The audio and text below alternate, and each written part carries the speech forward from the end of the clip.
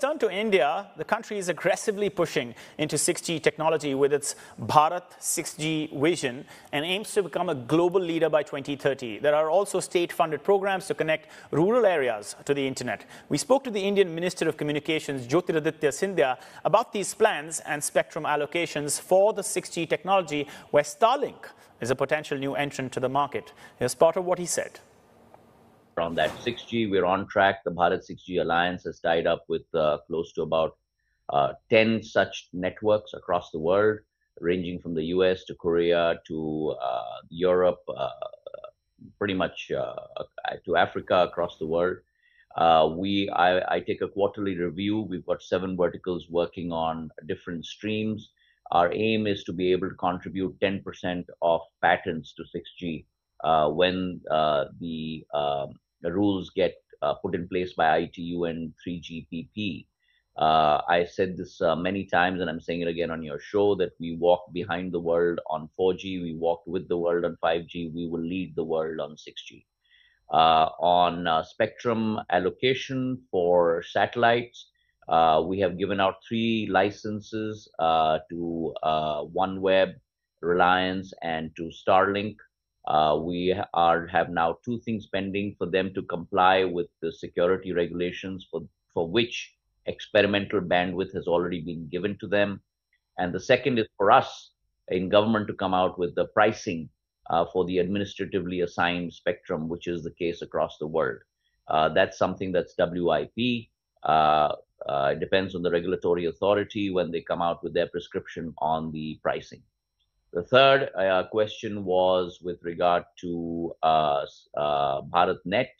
Uh, we have a very, very ambitious program to provide uh, OFC connectivity uh, to every hamlet and to every village across this length and breadth of India.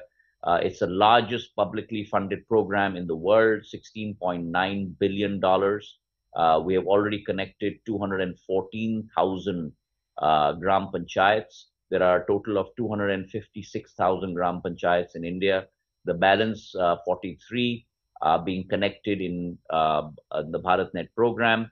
And the initial 214 that were connected in uh, BharatNet 1 and 2, uh, which were in linear topology, which meant that if the line was cut in one place, it would cut all the villages down the line as well. We're converting those to ring topology. Uh, that's part of amended BharatNet as well. Uh, we have uh, tendered out uh, out of 16, uh, 12 uh, parties have already been assigned. They're starting work and handover takeover, which we call in telecom terms HOTO, is happening as we speak, and execution is going. I also spoke to the minister about India's growth trajectory and the reforms that would we, that we could see next year. Here's part of what he told us. India is a uh, dynamic economy under the leadership of Prime Minister Narendra Modi. Uh, we are uh, always a country that is on the move.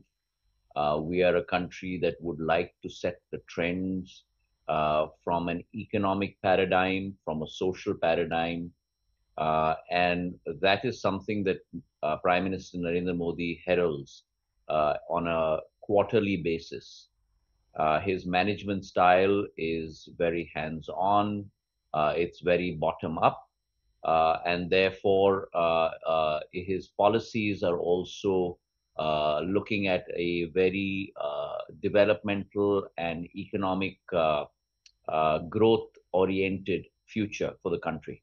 And therefore, what you have seen this past parliament session, whether it was the nuclear bill or the reform in the rural uh, works guarantee bill uh, are all steps in that direction. India, over the last 12 uh, years, has transformed uh, uh, uh, hugely. There, it's not been an incremental change; it's been a monumental change. You've seen a 2.1 trillion dollar economy turn into a 4.3 trillion dollar economy.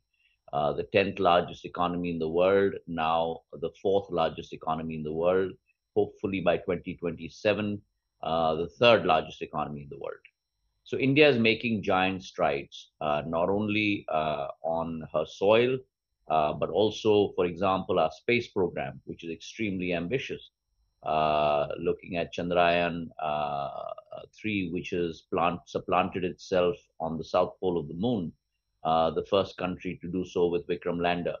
Uh, Aditya L1 encircling the sun, uh, hopefully sending our own astronauts into space through Gaganyaan. So across the paradigm from semiconductor fab chips to uh, space exploration to building a FAL, final assembly line in India for aircraft, uh, to rural works guarantee schemes, to digitization, uh, where you've got UPI transactions uh, making close to $4.3 trillion per year, 20 uh, billion transactions a month, 48% uh, of the world's digital transactions that occur in India. India is moving at a gargantuan pace. Uh, and we would like to set the trend uh, for the world. And the reforms are part of that uh, of that exhilarating pace. But could you give us a preview to what we can expect in terms of reforms in the next year? Well, as I told you, it's a continuum, and uh, this is going to continue in terms of ease of doing business. Uh, uh, the Prime Minister has very clearly told every single department to look within, to look without, uh, and to make sure that we uh, concentrate on EODB, ease of doing business, for every single citizen across the country, for foreign investors, uh, and the like. As you know, we've signed many trade pacts. Uh, recently, with uh, we've done a CEPA with Oman, uh, we've done one with New Zealand, and that is going to diversify our trade basket. Having been former Minister of State of Commerce and Industry as well, uh, uh, it's going to diversify our trade basket. It's going to diversify our portfolio, uh, and we are we are looking at all avenues of growth. Yeah. No, I mean, uh, you know, I only asked this because you brought up Oman and New Zealand, and of course, because our global audience is very, very keen to know more about the US India trade deal or when the tariffs will be reduced. Uh, have you heard anything uh, that you can tell us? Is there anything that you can say that will give us a sense of the timeline around you, this, what's expected? it's still getting baked. You will know when it happens. Uh, I, I, when uh, when that point is reached, uh, all of you, all of us will be informed.